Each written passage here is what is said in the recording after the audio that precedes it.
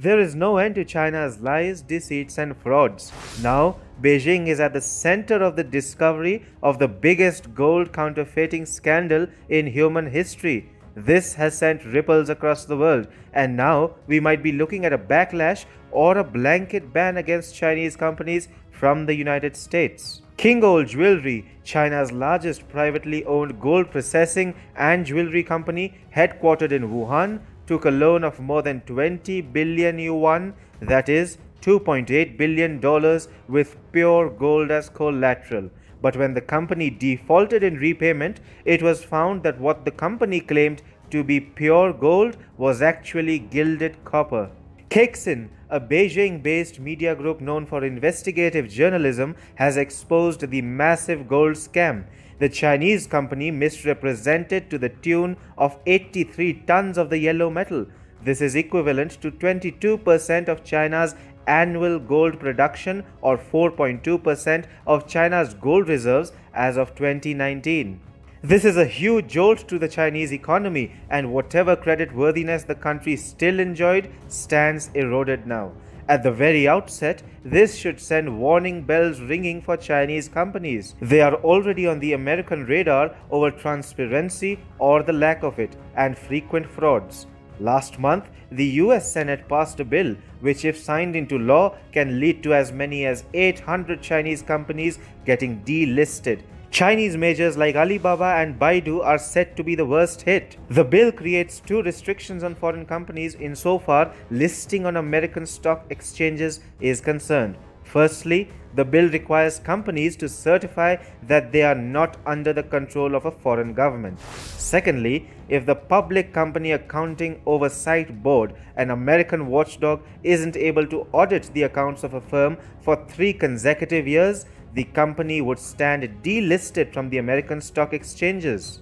The bill itself was not country specific, but it targeted Chinese companies and is supposed to cripple their ability to raise money from American investors. Beijing doesn't allow PCAOB to examine the audit books of the listed Chinese companies. The Dragon claims that the audit books are national secrets and cannot be shared with other parties. Moreover, top Chinese companies listed at the US Stock Exchange are either state owned or bear close links with the Communist Party of China.